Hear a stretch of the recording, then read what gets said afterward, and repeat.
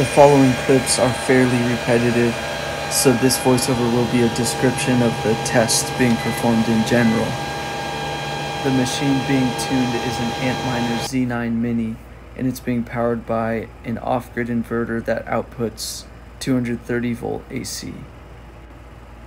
Under miner configuration, the frequency that the chip operates at can be adjusted as seen here.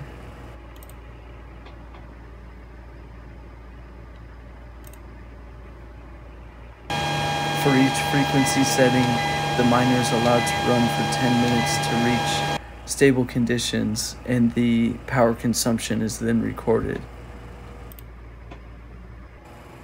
Under the miner status screen, the average hash rate as well as temperatures of chips and PCBs are recorded. The process was repeated until at 700 megahertz the miner was found to be unstable and wouldn't maintain its hash rate.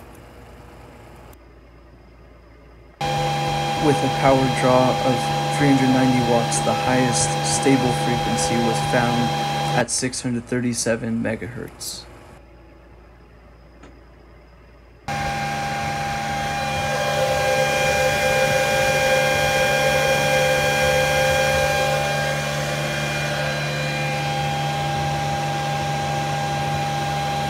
The results were compiled here where you can see at 550 megahertz the highest efficiency was achieved of 35.29 sols per watt yet the highest profit was achieved at 637 megahertz and this will, will only be the case if you have a very low power cost if your power is offset by solar such as I do.